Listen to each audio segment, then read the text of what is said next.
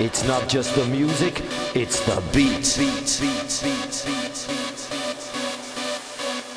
Welkom terug bij deel 2 van de release party van de 7e cd van Bitter Beat.